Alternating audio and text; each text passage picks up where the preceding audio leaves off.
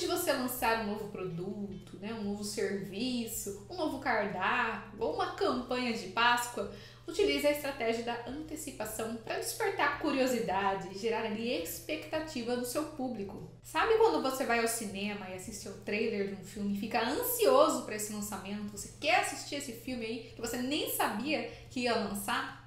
E o trailer é uma estratégia aí de antecipação. E é isso que você precisa fazer com a sua audiência.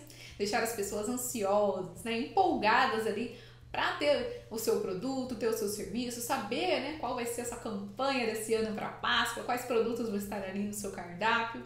E você pode gerar essa antecipação publicando, por exemplo, nas suas redes sociais alguns spoilers ali, né? O que está por vir, né? Fazer um mistério ali e gerar a curiosidade nas pessoas para que elas fiquem ali acompanhando o seu perfil saber o que, que, vai acontecer, o que, que você vai lançar de novo, né? Então, qual a novidade do seu cardápio, que elas queiram acompanhar né, o seu trabalho e futuramente aí converter essa pessoa para comprar de você.